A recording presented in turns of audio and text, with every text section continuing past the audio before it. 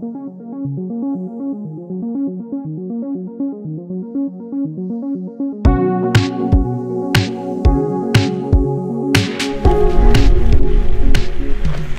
चाहिँ यहाँ हाम्रो धिरेन भाइ सुटिङमा हामी अहिले चाहिँ लोकेसन काहीँ नपाएर बिजोग कन्डिसनमा बल्ल बल्ल यहाँ किर्तिपुरमा आइपुगेका छौँ।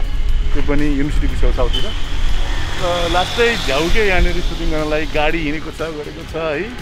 लोकेसन राम्रो आनन्दको ठाउँ चाहिँ नेपालमा अब नपाउला जस्तो छ अब। साह्रै क्राउड भयो अब।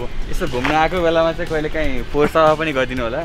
यसरी जहाँ पाइँदै नफालिनु सुटिङ गर्न गाह्रो हुन्छ हामीलाई।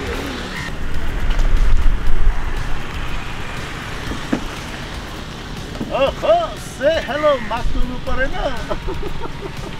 त्यही त यसो हेर्छु त मुख त बोले आया, यो त खत्रै होला जस्तो यो। Thank you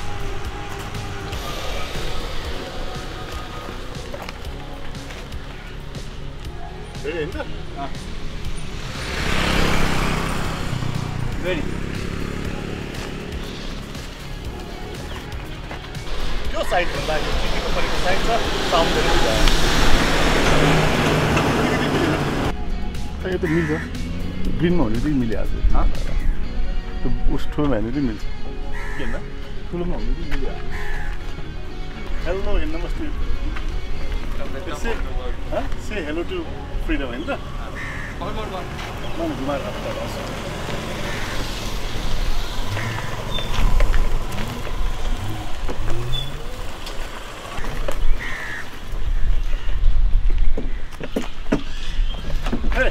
say hello to freedom and say hello to area यस्तो मिठो स्लोगन सहित अब नेपालको बजारमा एडिया बन्ने बिजुली स्कुटर आउनु थालेछ भने संसार उताबाट यता खिचौँ न।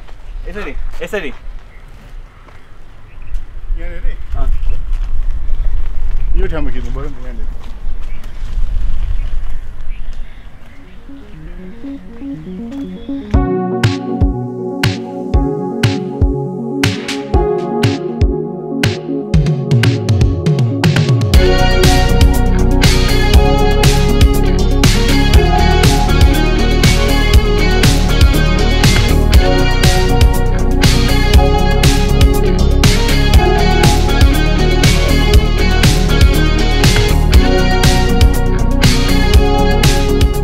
सवारी कुरामा जहिले पनि सेफ्टीको लागि हेलमेट त हामीले लाउनै पर्छ भने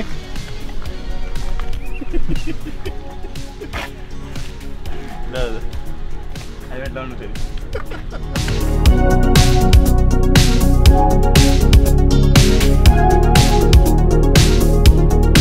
इन्ट्रो भइसक्यो अब अब यो यो यसको यस्तो पहिला पनि भइसक्यो भनेर भनिसक्यो हामीले होइन। अनि त्यसपछि अब यसको बारेमा कुराहरू सुरुमा लुक्सै कुरा गर्ने त्यसपछि अब ब्याट्रीमा जाने यस्तो त लास्टमा भने यो त लास्टमा राख्ने हो खालि मैले भनिदिएको मात्रै हो नि।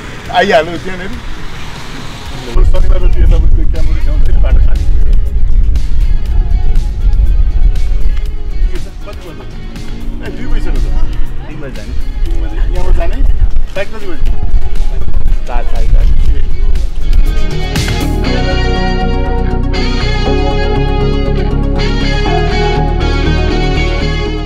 जिआरटी थ्री पोइन्ट जिरो के हो त्यो GTR three point zero broadband motor road band र स्कुटरमा मोटरको कुरानु पर्दा यसमा चिज जिटिआर होइन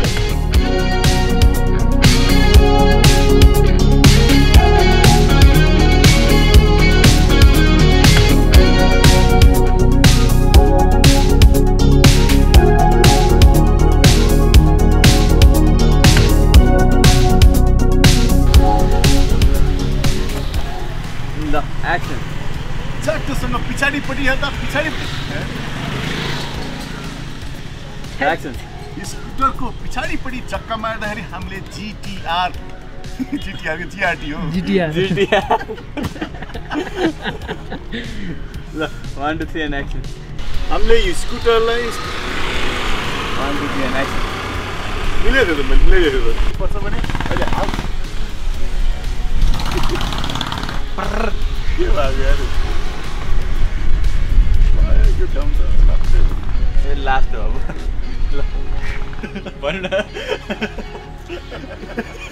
यो भिडियो सधैँभरि हेर्ने हो होइन? बुझेन?